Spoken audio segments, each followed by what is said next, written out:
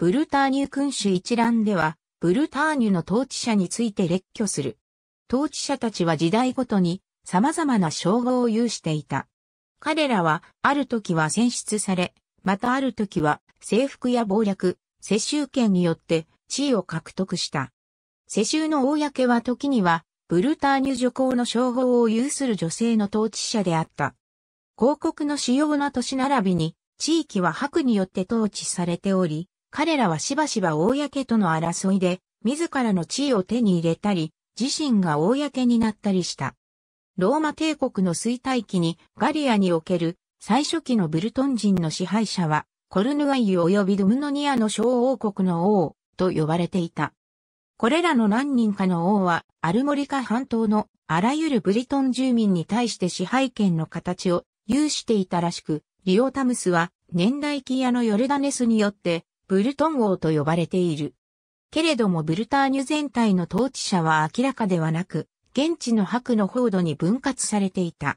これらのいくつもの小国に分裂していたブルターニュを840年代に統一したのがノミノエであり、彼が統一ブルターニュ王国の初代王となった。王国は領域を拡大したものの、10世紀のバイキングによって国土がほとんど侵食されるに至った。この危機的状況を打開したのがアラン2世である。彼は939年にトランの戦いでバイキングを撃破して祖国を解放したが、この時の勝利がブルターニュ公国建国の起源であり、それはブルターニュとノルマンディの国境であるクエノン川にて建国された。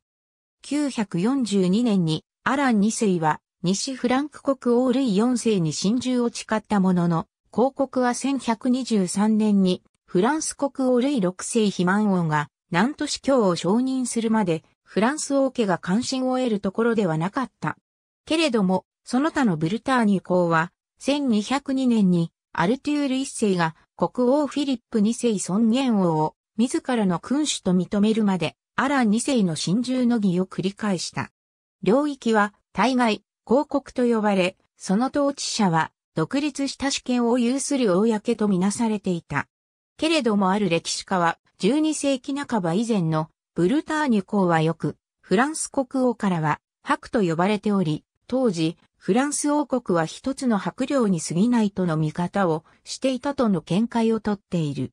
1297年にブルターニュはフランス貴族における公爵に昇格したとしている。この見解はシャルル8世恩公王並びにルイ12世人味王の2代にわたる王が広告並びに両王と立て続きに結婚したアンヌド、ブルターニュの権利に近づいたこととは一致しない。大部分の歴史家は上記の両王の時代及び行為が1532年にアンリ2世のもとに組み込まれるまで、ブルターニュ公国はフランス王権から独立していたとみなしている。ジョフローは2世とコンスタンスの長女で、アルテュール一世の唯一の姉妹で、同じく未婚であったアリエノールが、イングランドの地で1241年に死ぬまで、監禁の身にあったことは、彼女が行為を継承するのを不可能なものとした。ありがとうございます。